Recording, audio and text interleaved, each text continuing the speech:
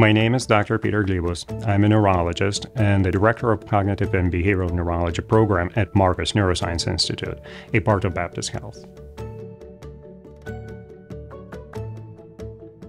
My area of expertise is any disorder of uh, memory, thinking, language, or other cognitive domains. The most frequent diseases that I deal with would be Alzheimer's disease, but I also treat patients with dementia of Lewy bodies, frontotemporal dementia, and a syndrome of primary progressive aphasia. These are all neurodegenerative diseases. I also frequently see patients with cognitive problems after they suffer a stroke or a traumatic brain injury or other neurological disorders.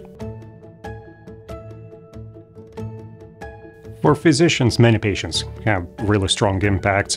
The one I can probably think about, more recent one, was uh, the patient who was having multiple neurological symptoms for several years, and uh, it really took persistence and uh, a lot of time to come to the diagnosis of this rare autoimmune neurological disorder that was affecting a, uh, a patient's cognition. But when the diagnosis was established and the treatment was initiated, remarkable recovery was really impactful.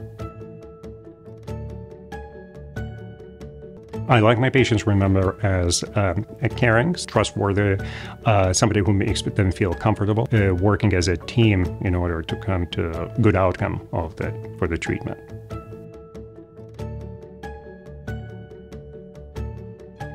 The research and technology is very important in neurology, as in any other uh, uh, specialty in medicine. The research is, is driving the new treatments. It used to be that neuro neurology was very diagnostic specialty.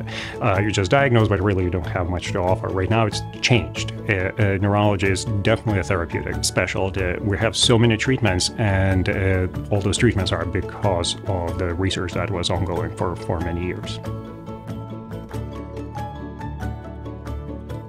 What sets Marcus Neuroscience Institute apart is uh, really the elimination of silos between different subspecialists, and all the subspecialists are working together toward the greater good, and that is providing the great care for the patients.